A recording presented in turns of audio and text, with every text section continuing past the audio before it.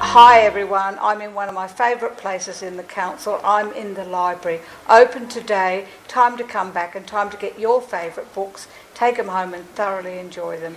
Things are certainly looking brighter when the libraries are open. Bye.